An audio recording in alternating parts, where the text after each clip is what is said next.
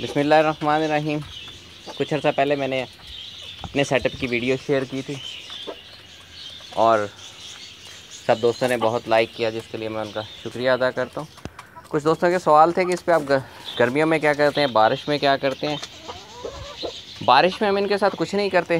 جب بارش آتی ہے تو مرغیاں اپنے کھڈے کے اندر چلی جاتی ہیں۔ ٹھیک ہے۔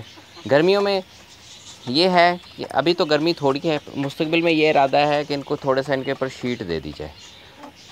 مرغی تھوڑی سی گرمیوں میں گیلی جگہ پہ رہنا پسند کرتی ہے جس میں ٹھنڈک ہو، تو تھوڑا سا یہ ہوتا ہے کہ جیسے آپ کو یہ پانی تھوڑا سا نظر آ رہا ہے، جو ان کا پلینگ ایریا ہے، میں اس میں تھوڑا سا پانی گرا دیتا ہوں اور کچھ ہم ان کو ہربز ڈال دیتے ہیں۔ نیچے میں نے چھوٹی سی کیاری بنائی ہوئی ہے، اس میں یہ پودینہ اور یہ دوسرے جڑی بوٹیاں اگی ہوتی ہیں، تو ہم ان کو وہ ڈال دیتے ہیں۔ جسے ایک تو یہ ہوتا ہے کہ ان کی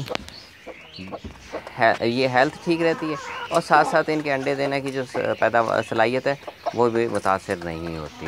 اس وقت تقریباً میرے پاس نو مرغیاں جو مجھے چھ سے سات انڈے ڈیلی کے دے رہی ہیں۔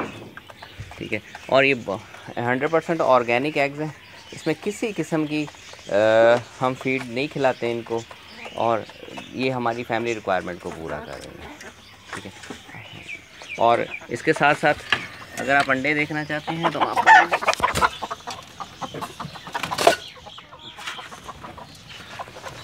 انڈے دکھاتے ہیں؟ آج صبح میں نے تین انڈے اٹھا لیے تھے، تین ہی ہیں، شاید ایک کا تو کوئی اور مرغی دے دیتے۔ چھ سے سات، چھ سات کی ایوریج ہمیں دیتی ہیں۔ اس کو بنانے کے لیے میں نے کوئی زیادہ خرچہ نہیں کیا، میں نے جسٹ یہ بلاکس رکھے۔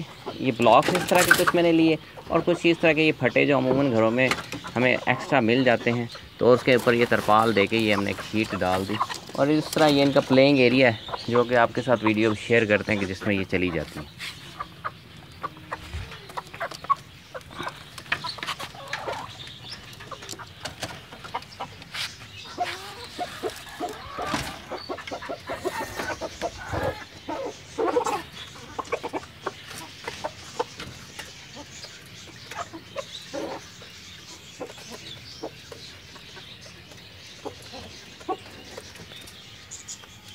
یہ آپ دیکھ رہے ہیں، یہ بڑے شوق سے کھا رہی ہیں اس کو۔ ٹھیک ہے۔